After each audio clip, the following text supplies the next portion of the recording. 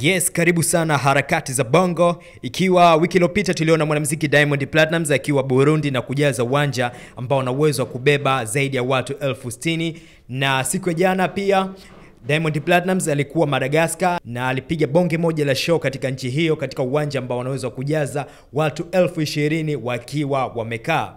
Na hii video inaonyesha mashabiki wakiwa wanakata ticket na kuingia uwanjani kabla ya show ya Diamond Platnumz, na Diamond alipiga bonge moja la show. Wakati wa show alimpandisha jukwani moja kati ya wanamziki wakubwa kutokea nchini Madagascar, Wawa, na kupiga naye show ya pamoja kupitia wimbo wa Moto.